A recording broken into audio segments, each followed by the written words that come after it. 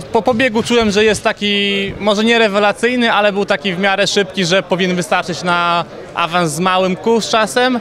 I, I byłem spokojny raczej. Ja jestem takim tym zawodnikiem, jak jestem już dosłownie pod żyłką taką, że tak powiem pod y, y, ciśnieniem ostrym, to wtedy się sprężam i biegnę już y, swoje na maksa, bo jak się włączy jakieś takie kalkulacje, że a w sumie na ten półfinał nie muszę szybko biec, to zawsze jednak jest y, ten bieg taki z lekkim rozluźnieniem, a, a, a jak jutro już będzie, prawda, już być albo nie być, to na pewno już będzie mocniejszy ten bieg. Będzie musiał być bardzo dobry bieg, szczególnie zważywszy na to, że moje przygotowanie w tym sezonie halowym nie jest do końca prawda, zadowalające. Jest spo- spowodowane wiadomo kontuzją, że bardziej tre- tego treningu było tak mało, że jest bardziej bieganie z pozytywnej energii, niżeli z jakiegoś przygotowania motorycznego. Więc y, no, tym bardziej musi być jak po prostu wyjść mi prze, przeperfekcyjny, przeidealny, żebym się w tym finale znalazł.